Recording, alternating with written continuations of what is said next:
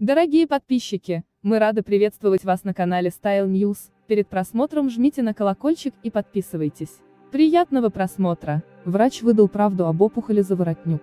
Звезде сериала «Моя прекрасная няня» дали шанс на выздоровление. Анастасия Заворотнюк почти полгода находится под наблюдением врачей в России. Точный диагноз медики и родственники не раскрывают, но журналистам удалось выяснить, что скорее всего, у актрисы обнаружили глиобластому, опухоль головного мозга. Раскрыть правду о заболевании смог онколог Андрей Каприн. Он пояснил, что этот вид рака считается одним из самых агрессивных.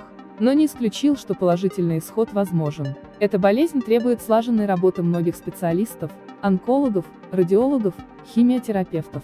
И в каждом отдельном случае нужен индивидуальный подход.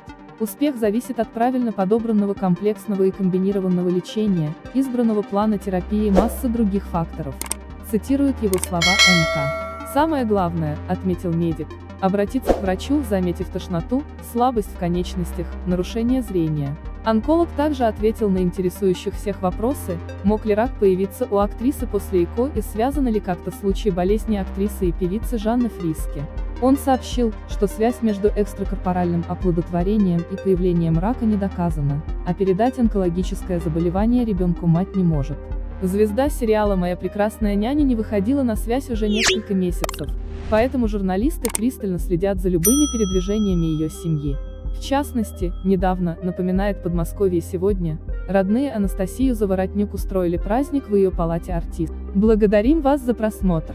Ставьте лайк и не забывайте подписаться, чтобы не пропустить самые свежие новости. До встречи!